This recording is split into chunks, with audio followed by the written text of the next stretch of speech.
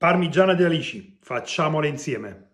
Per prima cosa dobbiamo cuocere la salsa di pomodoro, quindi olio extravergine di oliva e uno spicchietto d'aglio.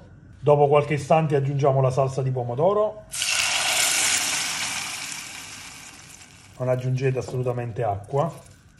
Mettiamo un po' di sale, due foglioline di basilico e facciamo cuocere per 15-20 minuti a fiamma molto bassa, senza coprire. Mentre la salsa di pomodoro cuoce, ne approfittiamo per preparare le alici. Come vedete, le ho già pulite, tolto la testa, spinate ed aperte al libro. Ora le passiamo nella farina e mano a mano le appoggiamo in un piatto.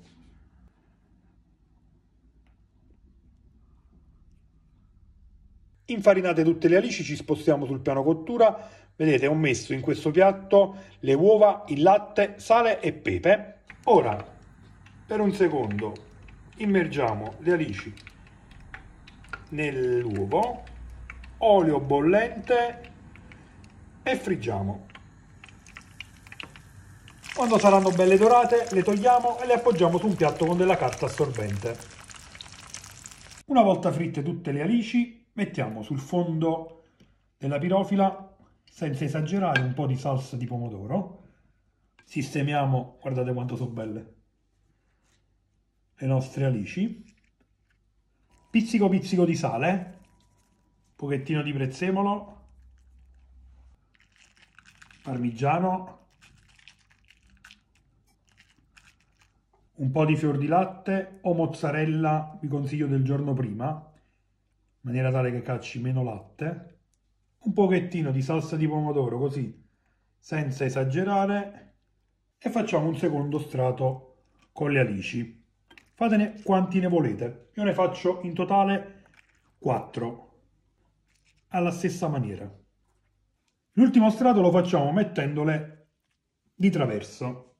Qui facciamo diversamente. Mettiamo prima un po' di salsa di pomodoro, il prezzemolo,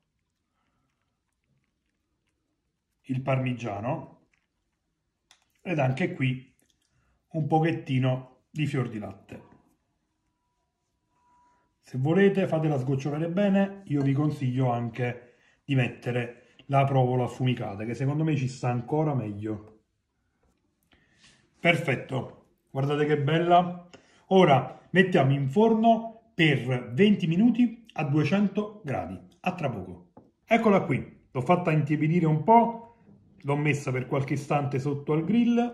Adesso la taglio e ovviamente ne assaggio un pezzetto con voi. Mamma mia.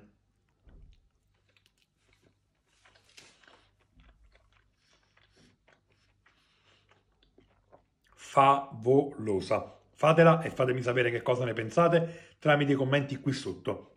Se il video vi è piaciuto mettete un like, Condividetelo, se siete su YouTube cliccate qui sotto per iscrivervi al canale o qui sopra su Segui se siete su Facebook.